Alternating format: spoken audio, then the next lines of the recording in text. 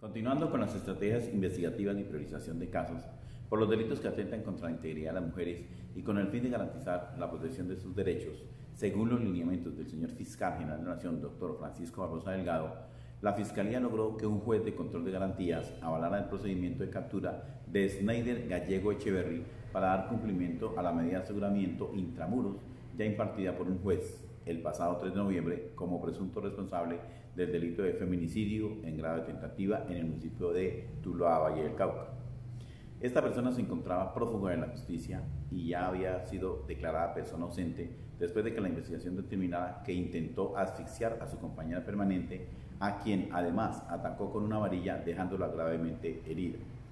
El presunto agresor fue capturado en Santander de Clichao, Cauca, el 14 de noviembre pasado en un puesto de control de la Policía Nacional.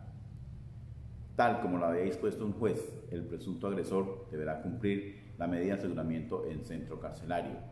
Fiscalía General de Nación habla con resultados.